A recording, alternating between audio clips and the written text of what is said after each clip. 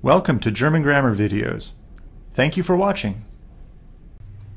This presentation will examine how to use coordinating conjunctions in German.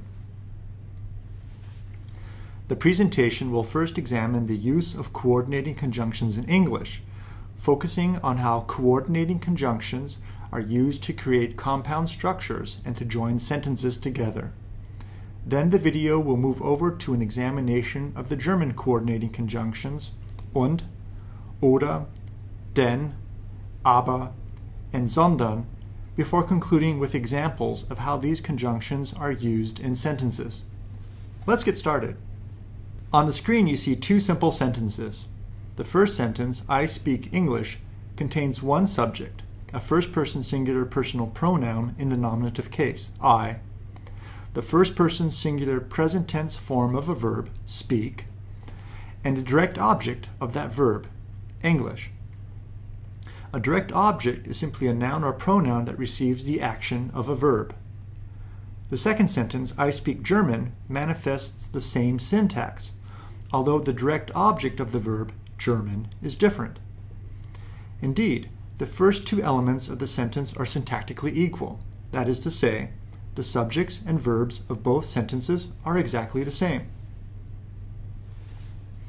As the first two elements of the second sentence are the same, we could merge the two sentences into one by removing the redundant elements and joining the direct objects with a coordinating conjunction, and. This creates the compound direct object you see on the screen.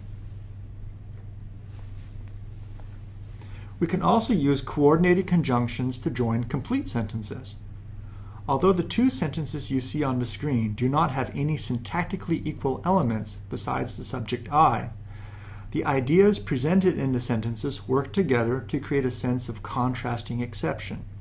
That is to say, the subject of the first sentence is perhaps hungry and would like to eat breakfast, but the unusual exception of having to take a test prevents him or her from doing so it is important to note that the two sentences work together to create the sense of contrasting exception.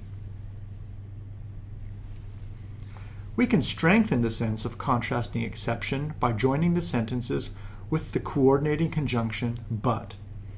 As you see on the screen, a tighter integration of the contrasting ideas presented in the two original sentences is afforded through the use of this conjunction.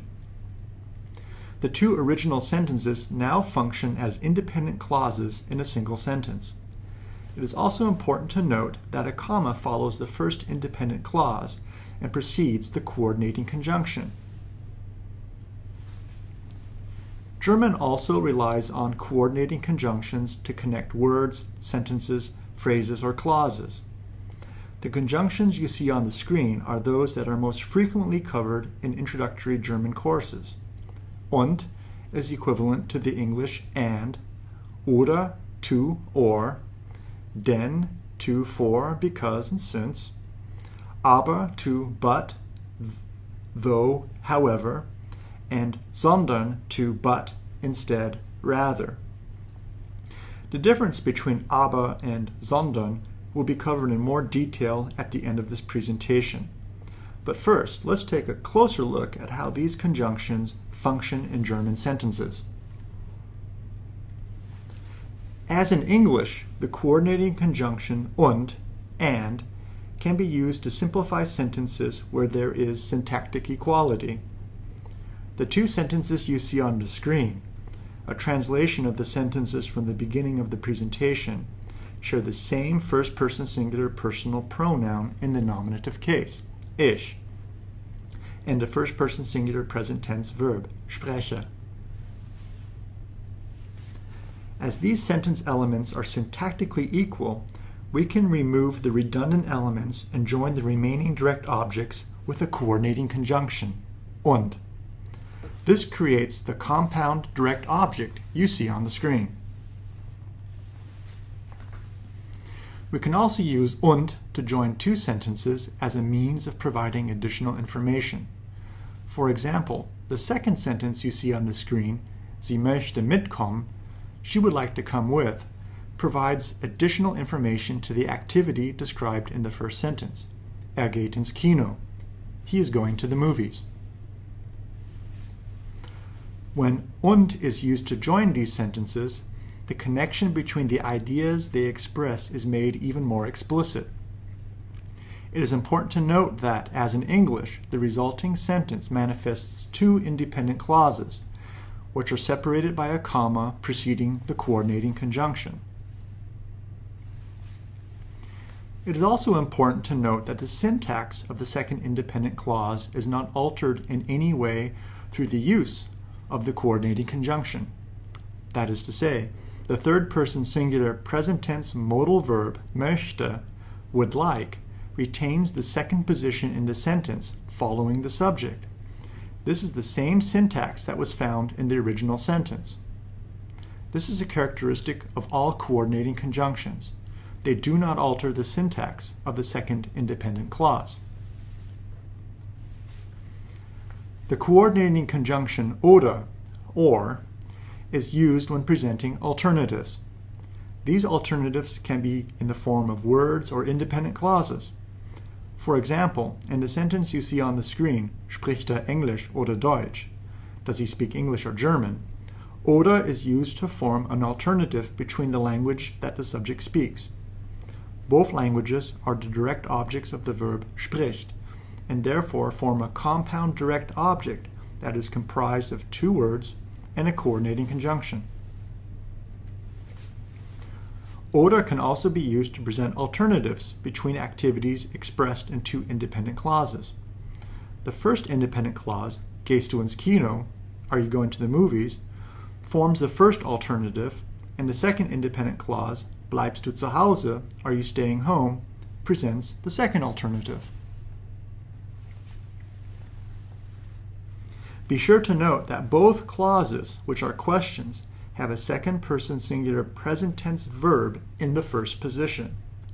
As you recall, German forms questions through the use of interrogative pronouns, such as wer, who, and by putting the verb in the first position at the beginning of a sentence. The coordinating conjunction oder, therefore, does not alter the syntax of the second independent clause. The coordinating conjunction denn, for, because, since, is used to express a causality between two independent clauses. For example, the first clause, sie trinkt viel, she drinks a lot, is further modified by the second clause, which gives the reason why the subject is drinking so much. Sie hat Durst, she is thirsty. The coordinating conjunction denn is used when the causality between the two clauses is less necessary. And the function of the second clause is to introduce helpful, but possibly more parenthetical information. The subordinating conjunction weil, although having the same meaning in English as then, as denn, implies a more strictly necessary condition between the two clauses. The coordinating conjunction aber, but, however, is used to express a contrast or an exception. As you see on the screen, the conjunction can be used to merge two apparently contradictory adjectives, klein, small, and stark, strong, to express the idea that the subject of the sentence, despite his small stature, possesses a remarkable physical strength. The merging of these two adjectives creates the compound predicate adjective on the screen. Of course, the same idea could also be expressed in a longer sentence that relies on two independent clauses instead of a compound predicate adjective. Er ist klein, aber er ist stark. He is small, but he is strong. Finally, it is important to note that there is a difference between aber and sondern Although both could be translated as but into English, sondern has the additional meaning of rather, instead, and on the contrary. The coordinating conjunction sondern is used to provide contrasting and corrective information in the second clause and can only be used when a negative element such as nicht, not, nie, never, or kein, no, is contained in the first clause. For example, the sentence you see on the screen, Ich gehe heute nicht ins Kino, sondern ich lerne Deutsch, I'm not going to the movies today, rather I'm learning German, contains two independent clauses joined by the conjunction sondern. The first clause contains the adverb nicht, which negates the activity of the subject going to the movies. The second independent clause provides contrasting corrective information as it explains that the subject will instead be studying German. And that concludes this presentation on how to use coordinating conjunctions in German.